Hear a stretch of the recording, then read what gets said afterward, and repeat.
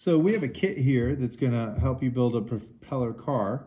Um, first step, what you wanna do is you wanna take this body, this wood body, and either side could be the top or bottom. I just drilled holes straight through it. So we're gonna take, and we're gonna look at the body, we're trying to find the, the four holes that are the most even on the very corners. And when I say even, that horizontally, they'd be the most lined up. We're gonna find out, we might troubleshoot a little bit later on. But uh, I think I like this side the best. So I'm gonna go ahead, I'm gonna use this side right here, and I'm gonna go ahead and take these eye screws, and so they have the little, little circles on them, and we're gonna go ahead and we're just gonna screw them in. We can do this by hand. Just go ahead and screw them in.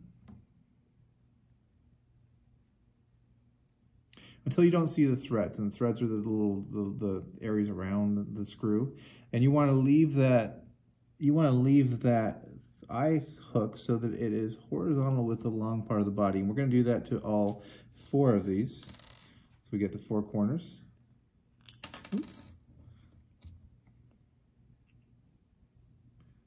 Get that guy started, and then it keeps on going. So the pre-drilled holes help. If not, you'd have to align all this yourself. We're want to stop it about the same. So I have that horizontal, that horizontal and they're stopped about the same height, so one's not higher than the other.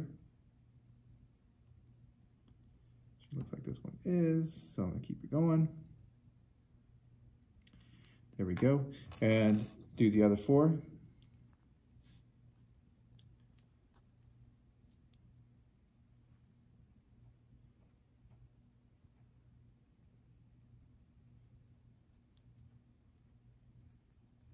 Once again, make sure that they're the same exact height where they hit the ground, where they, when you stop, that they're horizontal. The last one's right here.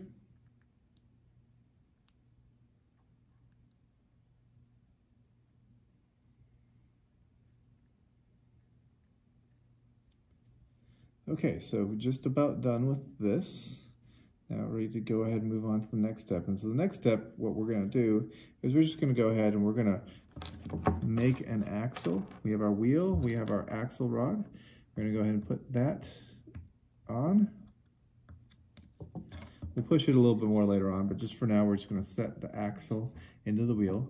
And we're gonna take the car and we're gonna put it, put the wheels into the little axle holders, the eye hooks that we put in earlier. And now we have that, and I'm gonna take the top part.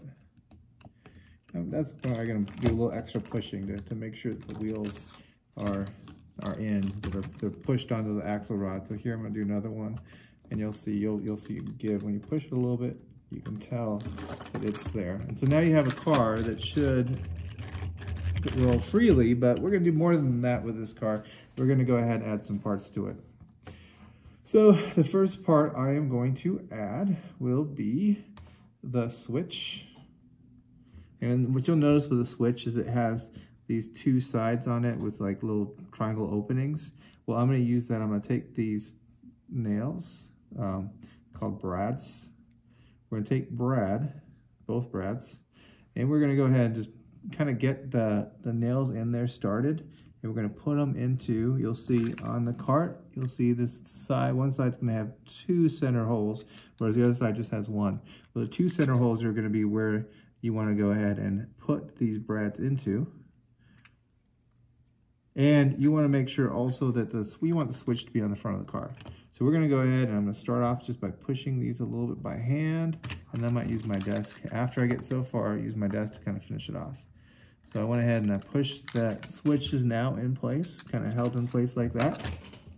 Next thing I want to do is I want to set up my battery place placer, and I'm going to put a screw in the center hole of the battery, the, the battery holder, and I'm just going to go ahead, I'm going to take that screw and I'm going to screw it into the center hole. So what we're doing is we're looking at the center hole right here, and we're going to go ahead and screw it in the center hole, but we want the wires to be facing the switch. So we're gonna go ahead and screw that in.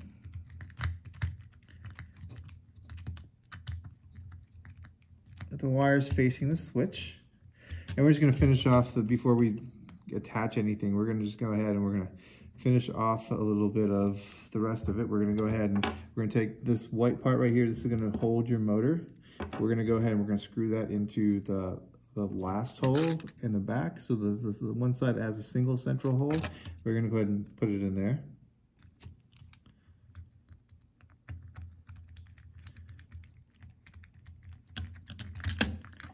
Get that nice and tight. And we're gonna make sure that this is kind of horizontal with that one short side that's closest to. So there we have it right there. And now we're ready to go ahead and put this motor together. We're going to take that propeller, we're going to throw it on the back of the motor. We're going to have a motor so that the, you can kind of lift these up a little bit if you want. You'll see you might need to later on. But the little, we call them electrodes, the areas where where the um, wires will attach to. They have little circles on these, and also you'll see those electrodes on the on the switch. When you get to the switch, you see the electrodes have little circles on on them. And so we're gonna go ahead and take that motor, and we're just gonna, if you put it sideways into, just get a wheelie, uh, put it sideways into the battery clip, and then turn it. You end up end up seeing this. So you'll see the the electrodes of the, the, the motor here. We'll see the electrodes of the switch here. And now we want to go ahead and we want to make a closed circuit. It's of course, not going to be closed until you have the batteries in there, but for now, we're going to make a closed circuit. And what we're going to do here is the way I have this set up, I'm going to go ahead and I'm going to take this wire right here. I'm going to try to twirl it so I can get it as, uh, so I can thread it through the, the switch. And what I want to do is I want to thread it through this side of the switch so it faces outwards. I don't want to face inwards because it's going to be important that we don't have wires touching other wires. And I'm not going to have anything else on that side. So I'm just going to face it that way and I'm going to kind of bend it so it's sitting there on that side right there, just like that. And now what we're going to do is we're going to have, actually, you know, I'm going to switch it, switch sides. I lied to you. I'm going to go ahead and bend it so it's, so it's on this side. So it's on the, the right side of the switch. So I'm going to set it out through, let me get this restarted. Okay, I'm going to thread it through this side of the switch. I'm going to need the other side for another wire, the last wire that we'll do.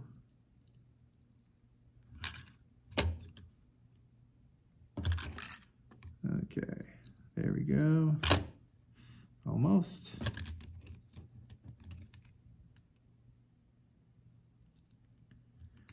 Okay, and this time we are on this side and we're gonna go ahead and bend it away.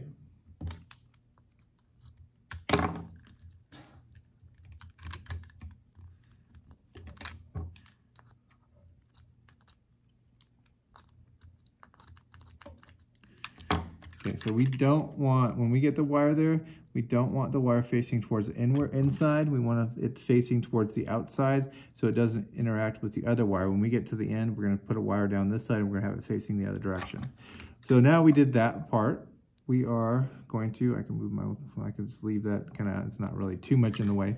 I would take this other wire and the colors don't really matter. They do if you were, you know, following a certain strategy but for this case, they're just wires. We're gonna take this red, the other lead, and we're gonna go ahead and we're gonna take it and we're gonna put it into the motor. So we're gonna go and take it to the electrode of the motor that's on this side, the same side it's coming from, and we're just gonna go ahead and put it in there.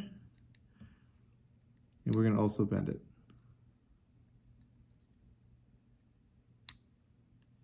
It's important that you have the wire touching the electrode and not the insulation. So make sure I just bent it so that the, I don't know if you can see it, but so that the the wires coming from the inside going outwards and then you'd see the metal is the metal is touching um, the electrode. So we have this part and we have one last wire. We're almost done with this.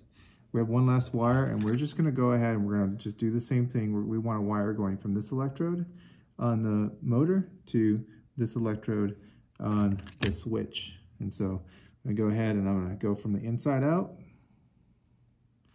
and make these ready to go. So we're gonna go ahead and we're gonna go ahead and go from the inside out. We're gonna go into the electrode and I'm gonna bend it beforehand. I'm gonna go ahead and just get that thing bent and I'm just gonna kind of hook it on. So we hook it onto that side right there. And we're gonna go ahead and take this, I'm gonna probably do that last. I'm gonna go to switch first. I'm gonna go to switch and I'm gonna put the wire through the, the electrode from the inside out.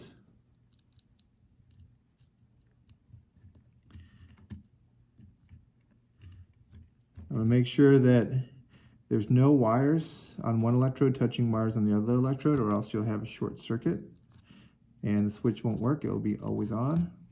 And we're gonna go ahead and attach this to the motor. And right now, the only thing I'm missing is batteries. Ellie, can you get me some batteries? Yes, I can. Almost.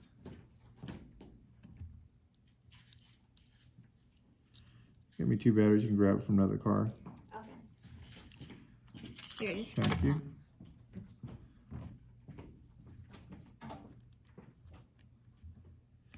So, the key here is right here where you have the, right here to the switch, you want to make sure that there's no wires touching both electrodes or touching another wire that's touching the other electrode because that will make the switch useless. And let's see how successful I was at putting this together. This is where it might be useful to have longer wire on the end. I try to make the kits with a little bit longer wire. Um, this will temporarily work. I would just adjust it, make it a little bit better. If I take the the batteries out here and I put the batteries into my new car, if it goes right off the bat, that means I have a short circuit, which maybe not doesn't.